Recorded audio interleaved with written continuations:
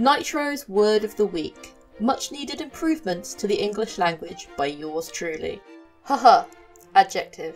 Describing something that is slightly wonky or out of place, but not enough to warrant changing it. Example. That shelf is a little bit huh-huh.